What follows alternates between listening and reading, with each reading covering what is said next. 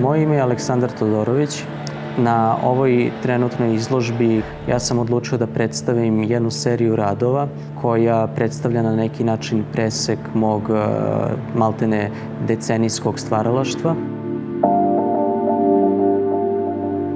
Svi radovi koje sam izabrao imaju zajedničku crtu i uklapaju se u tematiku koju sam izabrao, a to je remaster religije.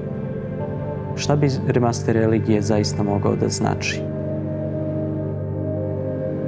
Ja sam uzeo ono što postoji prisutno u maltene skoro svakoj religiji, kao neku polaznu osnovu sam odlučio da koristim ono što je prisutno u kulturi ili tradiciji zemlje odakle sam, a to je pravoslavno hrišćanstvo.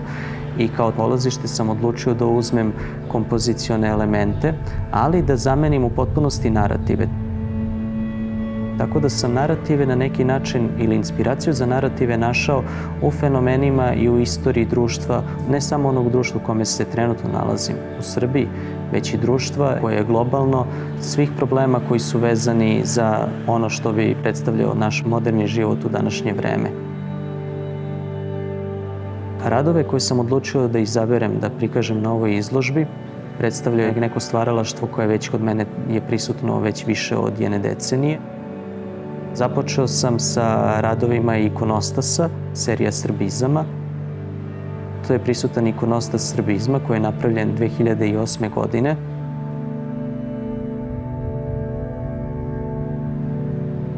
Na njom sam ja pokušao da napravim i prikažem situacije i stvari koje su se dešavale u istoriji Srbije, pogotovo u savremenoj istoriji 20. veka i pogotovo sam se tu koncentrisao na kraj 20. veka. Nakon završetka tog rada ja sam shvatio da nisam u stvari prikazao i nisam obuhvatio vrlo veliki deo fenomena i, i pogotovo vezano za, tu, za taj deo savremene istorije. Onda sam osjećao potrebu da napravim radove koji su nastavak te serije Tako da su nakon toga nastali radovi ikonostasa srbizma, srbonacizma i srbokomunizma.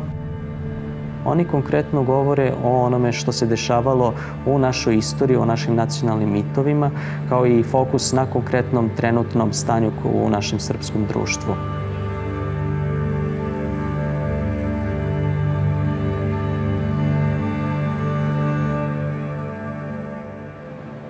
Ono što sam nakon toga odlučio da radim, to su takođe digitalne ikone koje sam napravio 2012. godine.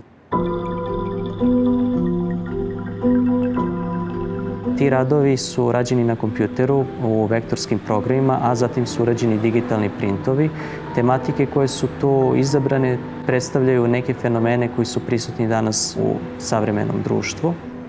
Zatim slede radovi iz 2018. godine gde sam odlučio da radim radove koji su ikone i koji su rađeni klasičnim ikonopisačkim sredstvima, kao što su jajčana tempera na drvenom nosiocu, pozlata, paladijum i takođe korišćenje tog nekog vizantijskog stila koji je kombinovan takođe sa nekom vrstom high-end ilustracije.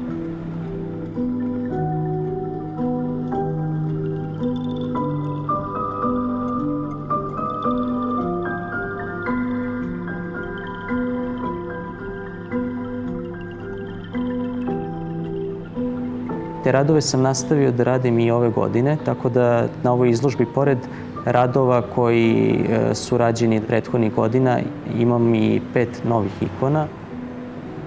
Takođe, po prvi put, dva rada koji se zove Aj Mandala i drugi koji se zove Korpo Krst.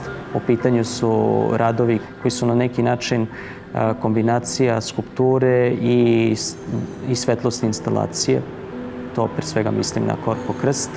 Tako da ono što je apsolutno zajedničko svim mojim radovima jeste korišćenje tih elemenata koji su prisutni u religioznom slikarstvu, kao što su oreoli, kao što su natpisi, korišćenje zlata, korišćenje određenih kompozicionih rešenja, ali tematika je nešto što je prisutno u savremenom društvu i nešto što svi mi do manje ili veće mere možemo da osjećamo, nešto sa čime mi možemo da se i tekako povežemo.